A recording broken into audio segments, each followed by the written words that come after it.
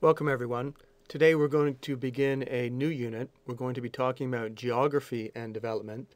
And by geography, I mean the relatively immutable and constant features, things like location, topography, climate, including temperature, rainfall, soil quality, uh, wildlife, especially parasites, and the influence of all of these on development. This is obviously a big topic, so today we're just going to focus on geography and trade. So I want to begin by giving two perspectives on trade. The first is the Ricardian perspective. So Ricardo said, when two countries specialize in their comparative advantage, that is, they specialize in producing the good which they can produce at lowest opportunity cost, and then they trade, both nations are better off. Now notice that innovation is not the focus of Ricardo. So Ricardo says there already are two goods, wine and cloth, we can get more of both goods if Portugal specializes in producing wine, England specializes in producing cloth, and then they trade. So for Ricardo, trade is about improvements in static efficiency. Notice also that in Ricardo, market size is really not a key variable. The situation is very different in Adam Smith. Adam Smith has a completely different theory of trade. Let's take a look at that. Smith lays out his theory of trade in a chapter in The Wealth of Nations called The Division of Labor is Limited by the Extent of the Market. And Smith makes this remarkable and very deep insight. He says, as by means of water carriage, that is, by ship and boat, a more extensive market is opened to every sort of industry than what land carriage alone can afford it. So it is upon the seacoast and along the banks of navigable rivers that industry of every kind naturally begins to subdivide and improve. So, what Adam Smith is saying is that when you're along a seacoast, you have access to a larger market. You can sell your goods in a larger market. And because of that, you get economies of scale, but also you get specialization of knowledge. You get people learning more as they produce more. This creates improvements. So for Adam Smith, trade is a dynamic growth story. Trade means larger markets. Larger markets means more specialization. It means more improvements in knowledge, and therefore it means more growth. So let's take a look at Adam Smith's theory and see if we can see it today. So what we have here is a map of GDP density. That is the amount of GDP produced per square kilometer. And what you can see from this map is that Smith was absolutely correct. So what you can see is that where GDP is, where civilization is, it's along the coasts. Here's the coastal United States and along these navigable rivers, the Great Lakes region. You can also see uh, Western Europe, okay, all along the coast, all of this coastal area, Western Europe, highly developed. Over here, Japan, and of course, it's the coast of China which is rapidly developing due to those export markets. Here again, the coast of Australia. Now, in fact, what you can also see is that even in places where there are great institutions, where they have institutions of law and order and property rights and incentives and so forth, that we can still have low GDP per square uh, kilometer. So take a look at uh, Canada. So most of Canada, it's, it's like the Sahara Desert okay, in terms of GDP. Uh, Canada, where Canada is developed, it's along the coast and along navigable rivers close to the United States. Even in the United States, there are entire regions which really are bereft of GDP, which are almost as barren as is the Sahara Desert. So if you're looking just at institutions, you might say, well, even in the United States, where we have these great institutions, there's plenty of places where there isn't much GDP, so it must be something else. And geography, in particular closeness to rivers and closeness to the seacoast, is an important element of this. Uh, by the way, economists really used to ignore geography, and it's due to uh, Jeff Sachs and some of his co-authors, particularly John Gallup and Andrew Mellinger, that a lot of this work started to be done. In addition to the article which I've noted here, these three authors have a, a review article in Scientific American 2001 called The Geography of Poverty and Wealth, which I recommend. Now, if being close to rivers, if being close to the seacoast is important, then what is the worst thing? Well, the worst thing that can happen is if you are landlocked. Let's take a look.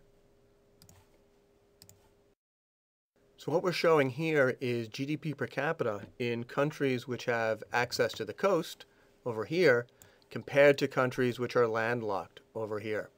And what you see immediately is that countries which are landlocked have half, actually a little bit less than half the GDP of countries which have access to the coast. If we look here over the over here at the landlocked countries, you can see there's actually a few landlocked ones in uh, Europe, Austria, Czech Republic, Hungary, of course, Switzerland.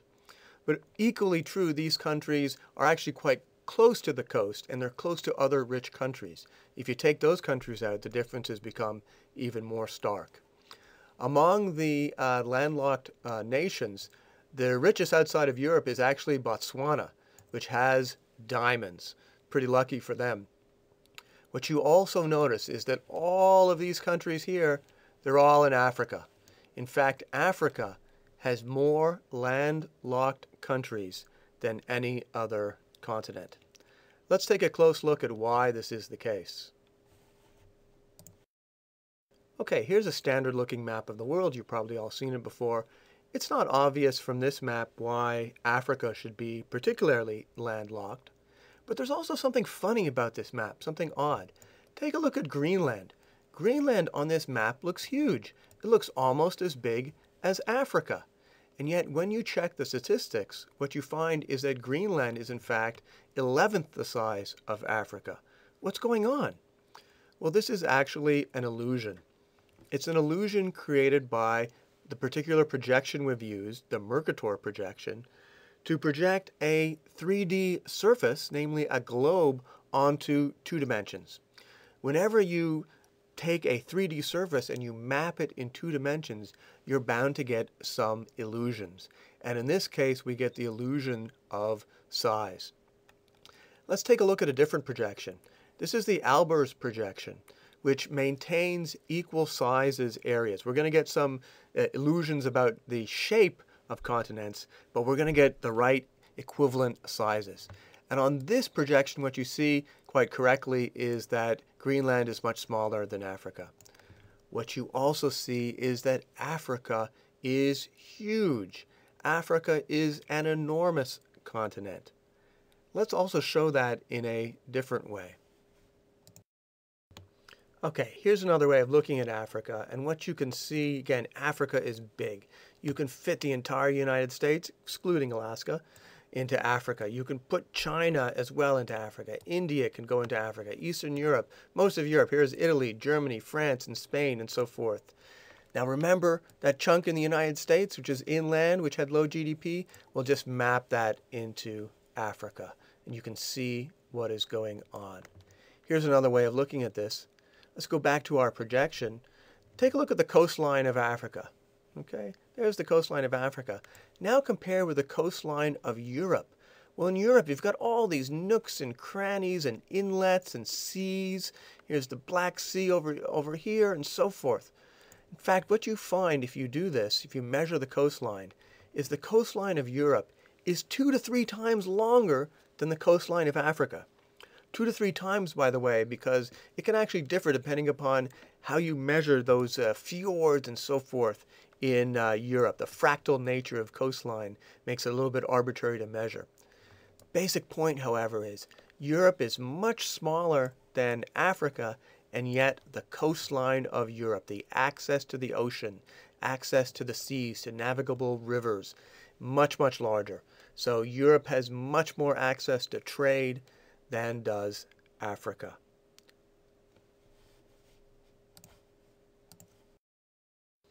So let's review briefly. From Adam Smith, we have that seacoasts and navigable rivers, that leads to trade, to larger markets. Larger markets, that means more specialization and improvements in knowledge. And improvements in knowledge lead to growth. In contrast with this, if you're landlocked, you don't get those trade, you don't get trade, you don't get larger markets, you don't get that specialization, you don't get that improvement in knowledge, and instead you get stagnation. Now, again, let's apply this to Africa. Adam Smith, in fact, had the theory and the application down in 1776. He says there are in Africa none of those great inlets, such as the Baltic and Adriatic seas in Europe, the Mediterranean, and Black Sea in both Europe and Asia, to carry maritime commerce into the interior parts of that great continent. And the great rivers of Africa are at too great a distance from one another to give occasion to any considerable inland navigation. So Adam Smith nailed in 1776 one of the key connections between geography, between access to the coast, access to navigable rivers, and development. Amazingly, it wasn't until some 200 or so years later that Jeff Sachs and others really began to pick this up and bring it back into the growth story. One reason to remember our history of economic thought. Okay, we'll be looking more at development and geography, in particular malaria and other parasites and things like that, and their influences in the next lecture. Thanks.